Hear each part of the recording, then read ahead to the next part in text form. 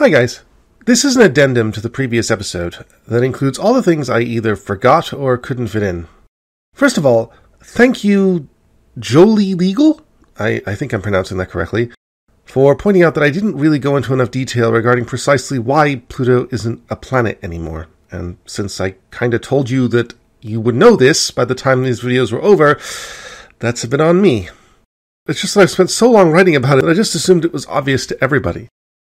The niggling and lawyering that people have engaged in to either credit or discredit Pluto's demotion are outside the scope of the series, but I'll try and sum them up quickly.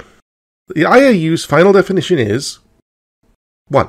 A planet is a celestial body that A. is in orbit around the Sun, B. has sufficient mass for its self gravity to overcome rigid body forces so that it assumes a hydrostatic equilibrium or nearly round shape. The only word you need to know in that sentence is round. And C. has cleared the neighborhood around its orbit. 2. A dwarf planet is a celestial body that A. is in orbit around the Sun, B. has sufficient mass for its self gravity to overcome rigid body forces so that it assumes a hydrostatic or nearly round shape, C. has not cleared the neighborhood around its orbit, and D. is not a satellite.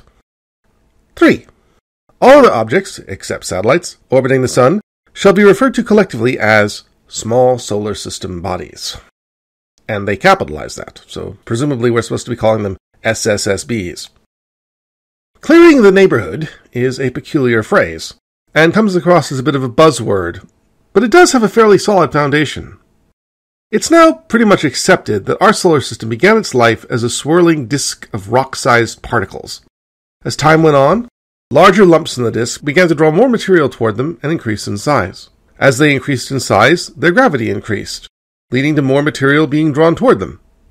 Eventually, they got so big that they either swallowed up all the material within their gravitational reach or ejected it into another orbit, leaving the eight large objects we refer to as planets.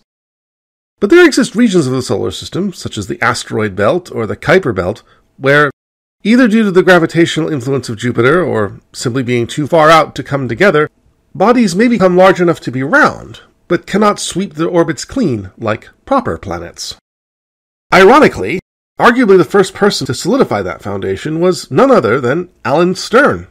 That's right, the same Alan Stern who fought tooth and nail to keep Pluto in the Planet Club, to the point of coining the now ambiguous term dwarf planet. In the year 2000, Stern and his colleague Hal Levison calculated a term that they called lambda, which defined an object's ability to clear its orbit of similar objects within a time span equal to the age of the universe. So defined, Jupiter would have a lambda of 1.3 billion, Earth 153,000, and Mars 5,100. Pluto, on the other hand, would have a lambda value of 0.003, while Eris's value would be 0.002.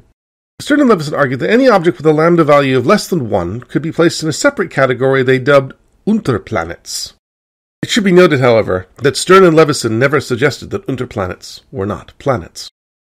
Other attempts to quantify clearing the neighborhood have also been made. After the IAU's decision, Stephen Soter, an astrophysicist at the American Museum of Natural History, coined the term planetary discriminant for the ratio of the mass of an object to the mass of all the matter known to cross its orbit at least once.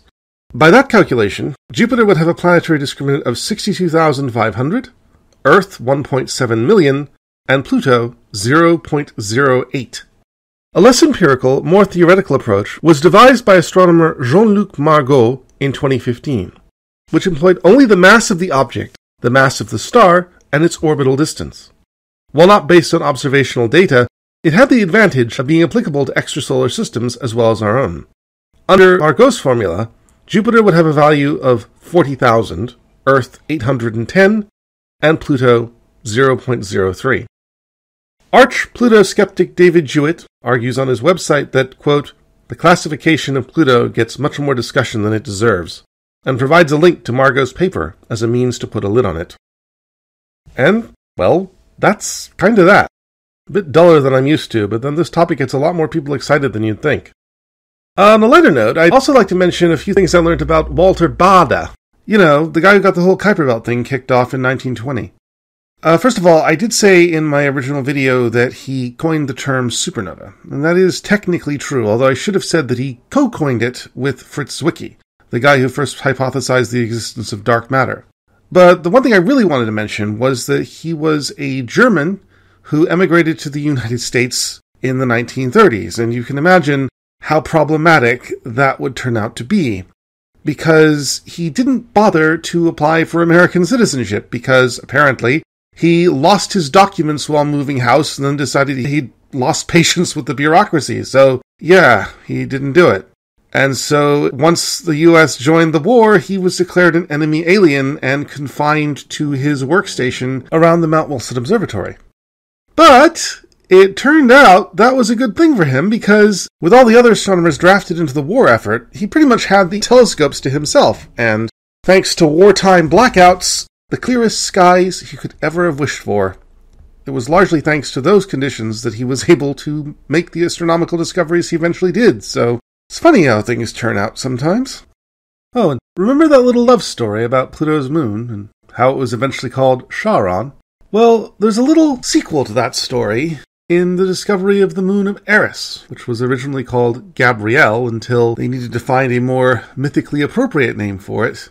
And the name that Brown chose for it was Dysnomia, which is the daughter of Eris and the demon spirit of lawlessness a reference, of course, to Lucy Lawless. But the real story is that, just like James Christy, Brown had recently married when he discovered Gabrielle, and, like James Christy, chose to name it in part after his wife, whose name is Diane or Di. In keeping with the tradition begun with Charon of mispronouncing mythical names for love, Brown pronounces the name of the moon Dysnomia.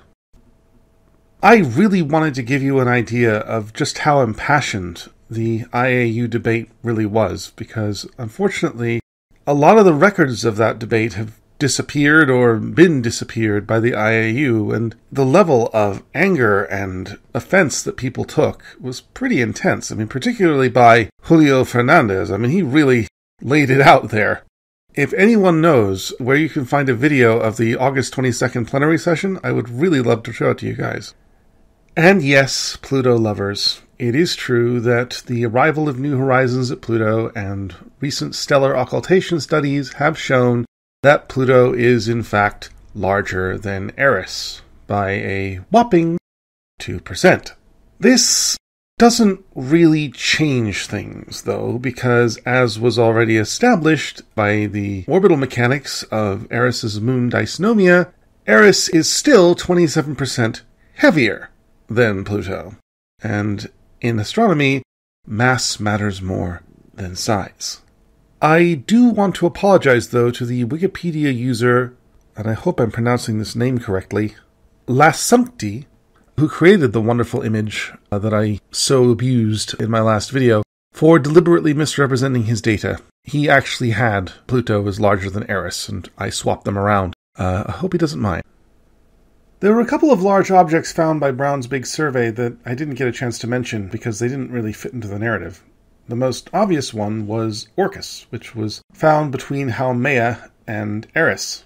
It wasn't even mentioned in Brown's memoir, which is kind of odd because it's kind of interesting in its own right. It's basically an anti Pluto, and I didn't make that up. It's about half the size of Pluto, and like Pluto, it has its own moon, and its orbit is nearly identical, except that it's mirrored. In the next episode, I will get into Plutinos and what they are and how they work, but for now, let's just say that after Pluto, Orcus is the largest of them. The next one doesn't have a name.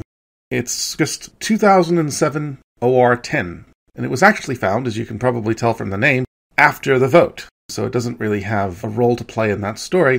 But interestingly, it was found by a graduate student named Meg Schwamb and it is currently the largest object in the solar system without a name. And here's the kicker 2017 marks the end of the period where the discoverer has priority in naming rights.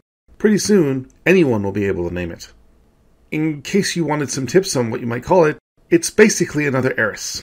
So there's your starting point. Finally, a note to my very patient viewers. The next video is going to be hard to make for me. I am not a scientist. I have credits in history, and I've basically been coasting a little by focusing mainly on history up to this point. But now the history's over. From here on out, it's going to be hardcore science, and I want to get it right. So I don't know when the next video will be ready, but I won't release it until I'm absolutely certain that it is. So please continue to be as patient as you have been. Thanks.